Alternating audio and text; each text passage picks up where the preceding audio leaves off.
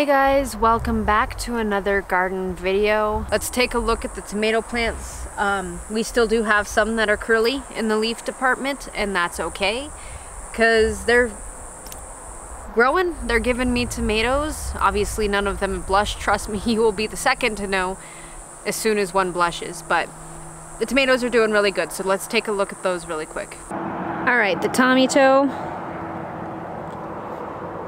Vernissage one, got a little bit of leaf curl on them. They could probably use some water to be honest.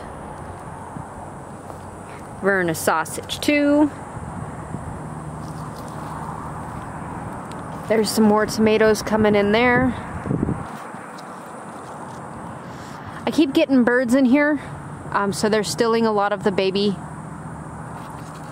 foods that we had. Oh, there it is. So there's the first Vernissage back there. Chocolate cherry. The sun gold, which we should be seeing some tomatoes on it here shortly. The blue cream, which has definitely gotten much bigger.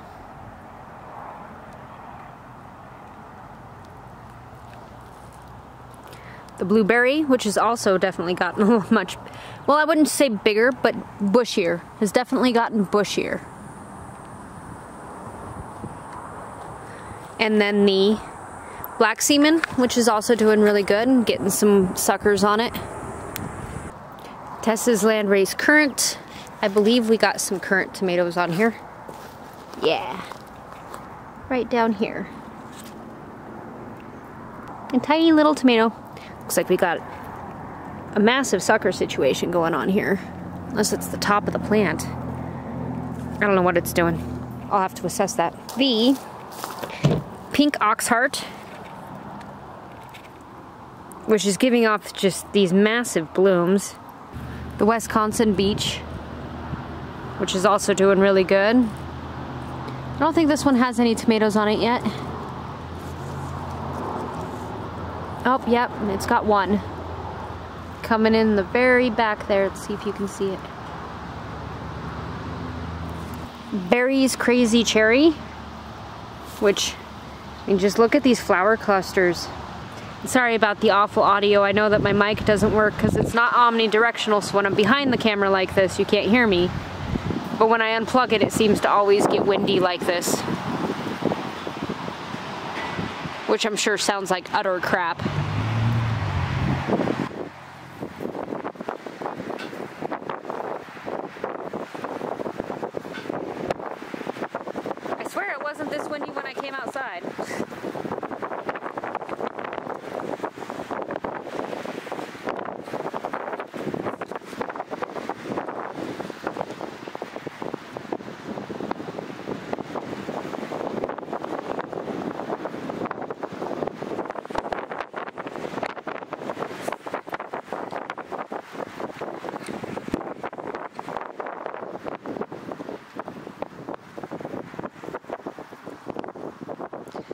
to give this Cosmos plant a stick so it can be supported.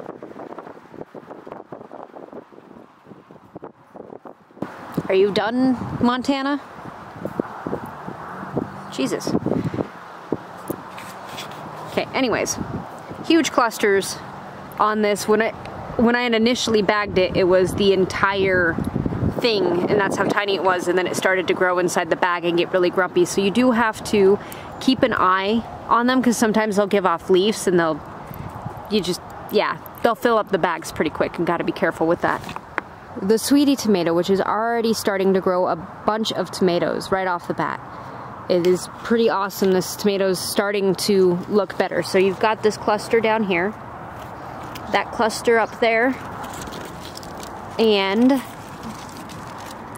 that cluster down there, so it's doing, in retrospect, pretty good, as, especially since this is one of the ones that had the massive leaf curl on it. This is the Japanese Black Trifle. Um, it does not have any tomatoes on it yet. But I do want to point out, look at how thick their stalks are. That is really, really awesome. And this comes from shaking them when they're in the little pots in the greenhouse.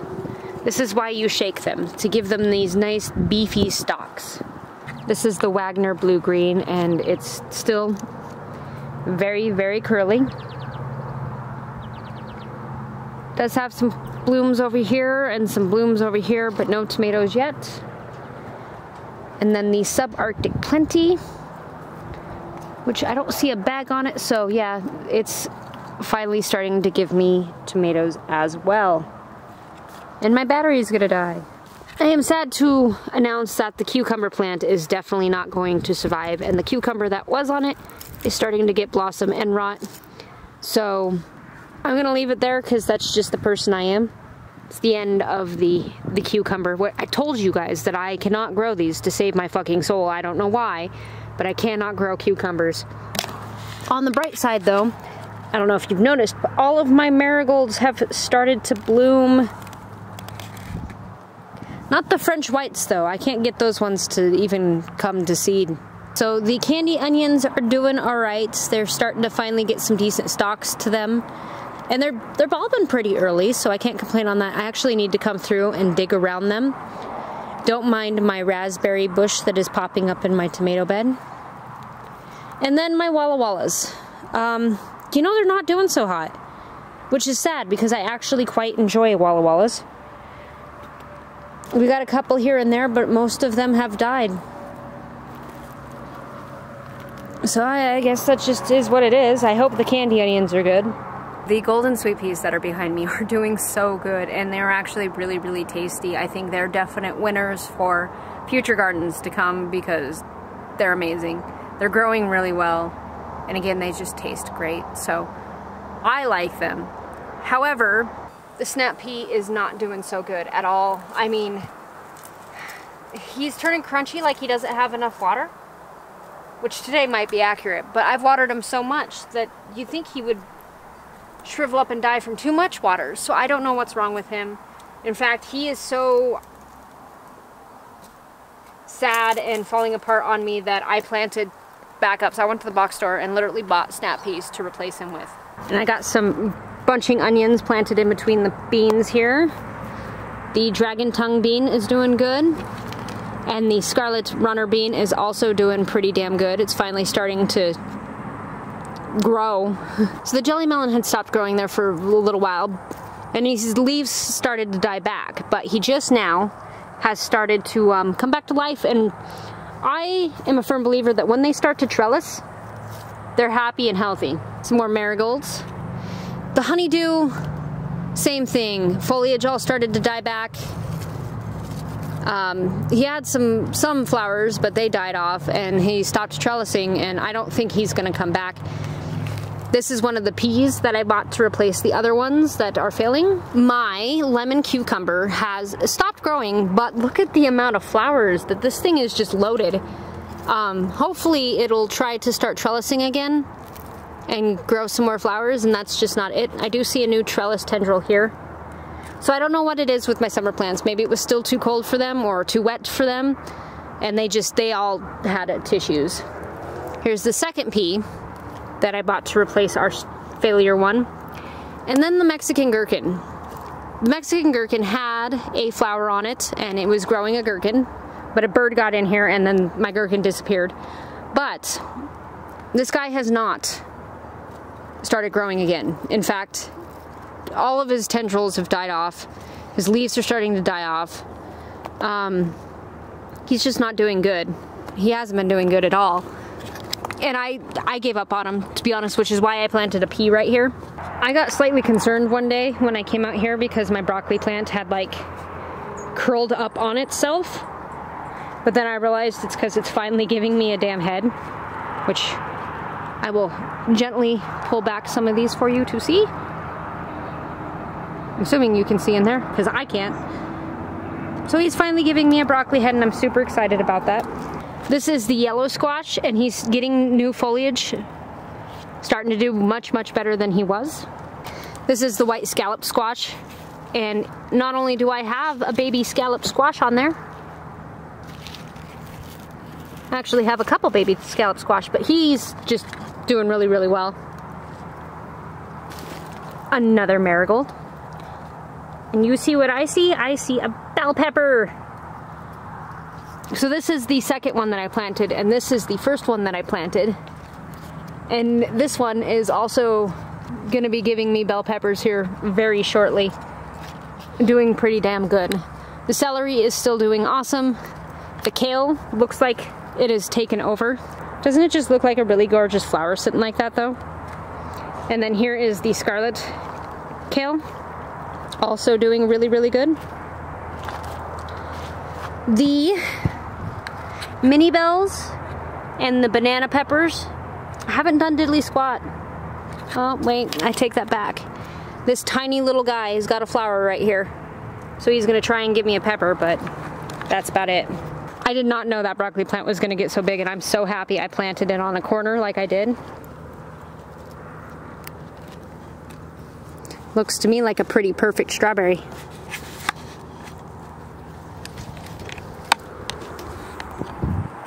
And of course, while I was at the store, I bought more squashes because I pulled all the garlics finally. So here is a, this is crookneck and that is also crookneck. So both of those are crookneck squashes to replace the MI Gardener garlic we had there. The beets, the carrots, the unflowering bush, the more beets, that is a type of squash. I want to say that's a winter squash. I don't have a tag for it, so I don't remember. Like uh, I don't remember what kind of squash it was. We'll find out. This is a butternut, baby butternut squash. And this is the other banana pepper so of all the summer plants that didn't get affected by the transplanting was the Kiku chrysanthemum melon. Um, it didn't really stop growing, but it didn't really excel at growing either. It has given me quite a handful of flowers, and I'm pretty sure that this plant grows along the ground. I'm not 100% positive. I don't think I need to stake it or anything. I mean, I have him sitting up like this, but I don't know if that's how he's supposed to be. So he's just kind of hanging out haven't had any problems with him though. A couple of his original leaves have passed, but all the rest of his new growth is fine and happy. So these guys are the okras and they're finally starting to show some change. I'm elated about that. I mean, I just I just want to try some okra, damn it. and then of course, this is the shishito pepper plant and he's doing really good. Gonna be bearing me some peppers here shortly and I'm excited about that also some, some more green onions because I just could never have enough of them. The eggplant hasn't done a damn thing. So I guarantee you it, it's too late. Like, there's no way I'm gonna have eggplants this year and I'm pretty pissed off about it, but is what it is. So we finally figured out what this bush is. It's a peonia bush, which is nice. And the first sunflower is finally starting to grow ahead. Yay! So the dead nettle is being a pain in my ass because it fucking won't stop growing. Tiger lilies are doing good. That poppy never gave me anything. This guy is just... We won't even go there with this one. Remember how I was super happy that I was gonna get the asters growing in this, this bed here? They're poppies. Every last one of these motherfuckers is poppies self-seeded from last year, except for the Cosmos I direct sowed. So none of my asters came up. It is fucking poppies. Which I don't mind poppies. Poppies are actually my favorite flowers. But I wanted to see an aster. The neglected bell pepper plant is still doing its thing. Could probably use some water. Maybe. Maybe not. I don't know. There's a pretty good sized pepper on them. I am trying for the third time to get the moonflowers to come up. Stupid moonflowers. All the mints and basils. Now this may sound familiar to you, but you guys remember when I was super excited about growing fruit smoothie zinnias in this bed? All bachelor buttons. Every last one of these motherfuckers is a bachelor button, self-sewn from last year. I just I just wanted some fruit smoothie zinnias. Well, except for the Black King pansies, but we knew they were there. In here, somewhere, and it looks like the nieces and nephews threw balls around today and they might have destroyed a few things. there's a lily in there. Oh, and my mums are making such a good comeback. It's laughable actually that they even died back so good. I don't even think you can barely see the dead foliage in there. Same with that one. That one's a little easier to see the dead foliage, but yeah, no. They came back like a beast. The morning glories are doing all right. Bleeding heart bush is doing all right. English ivy is doing all right. So the Swiss chard, and this is the solar flare lettuce, and then the black seeded Simpson. Uh, it's still not enough lettuce, so I planted more of the sol sorry, I planted more of the solar flare and sowed more solar flare and also new fire red. Again, solar flare and black seeded Simpson. New fire red. New fire red. And new fire red. Shaded plants are doing pretty good. I mean, obviously the lilies aren't meant to be here. I have to, to hold them up because they're seeking the sun so bad. They will get planted somewhere else this fall. But the Irish moss and the coral palace stuff is doing good. The English moss isn't. The tiger lilies though, I don't know why the partial shade ones have bloomed well before the ones that get more sun have, but they're they're happy over here and I will leave them to it. Look at those gorgeous lilies though.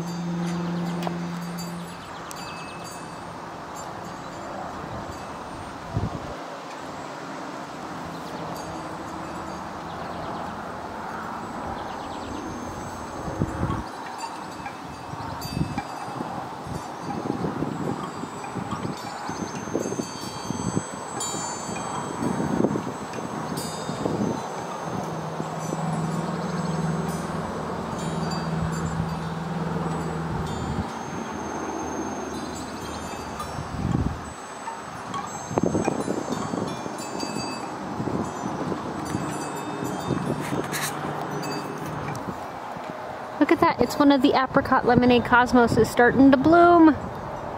Yay!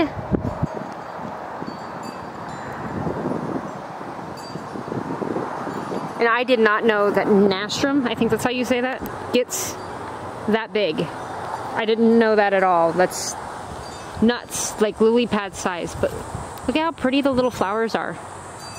It's totally got this tropical vibe hopefully the zinnias and the cosmos that's in there are gonna be okay because I, I planted them all too much. But it's pretty cute like that, right?